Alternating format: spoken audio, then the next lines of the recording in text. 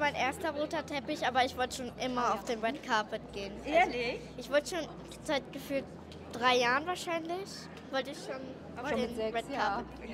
Ja. Aber wir können sie nicht auf jeden roten Teppich mitschleppen und auch nicht mit sechs. Und deswegen haben wir noch gewartet, bis so der passende Moment kommt. Ja. Und jetzt, ähm, jetzt sind wir ja bei der McDonalds Kindergala und es ist Samstag und sie ist keine drei mehr und hat auch keine Windeln mehr an. Und deswegen haben wir gedacht, ist heute der perfekte Zeitpunkt. Sie wollte auch unbedingt. Wir haben jetzt auch irgendwie keine Ausreden mehr gefunden. Aber sie sieht toll aus. Ja. Und man sieht auch, dass sie sich wohlfühlt, oder? Ich fühle mich jetzt am Anfang so da ganz, ganz vorne, habe ich mich richtig so, richtig, richtig so, oh mein Gott, ich bin so aufgeregt. Aber jetzt habe ich so, das ist richtig so das Gefühl bekommen, dafür den Red Carpet zu Du machen. hast auch das richtige Prinzessinnenkleid an. Es soll Hast du dir das selber ausgesucht? ich habe mir das selber in äh, Las Vegas ausgesucht. Und es soll eigentlich kein Prinzessinnenkleid sein. Aber Aber es sieht ganz toll aus. du, ihr unterstützt McDonalds auch schon lange, oder? Ja, genau. Wir sind bestimmt schon seit fünf Jahren.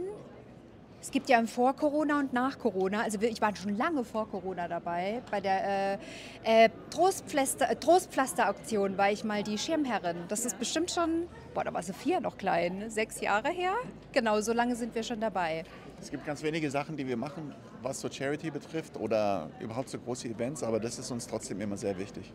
Schön. Also ihr spendet nicht nur Geld, ihr gebt auch eure Zeit und richtig Manpower hinein. Wir Ja. sind heute richtig auf einem Abenteuer von Las Vegas mit einem Stop, der viel, viel zu lang war in Denver, in der letzten Sekunde hier angekommen. Aufregend.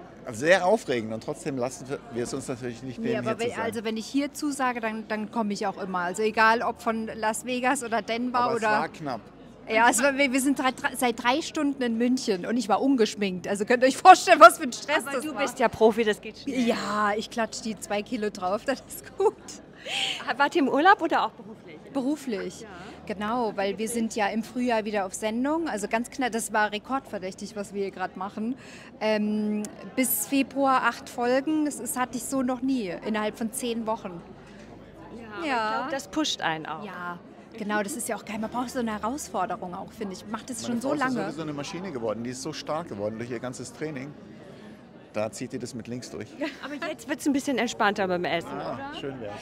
Genau, es ist aber auch entspannt. Sobald wir hier rein sind, setzen wir uns hin, dann gibt es unsere zwölf Gänge und dann, dann wird schön gegessen und das wird dann einfach nur schön. Ich freue mich sehr auf die Zirkusvorstellungen. Wie lange bleibt ihr in München? Äh, bis morgen früh um sieben. Und dann geht's wieder zurück. Genau. Jetzt wieder zurück, da muss ich gleich wieder auf die Bühne.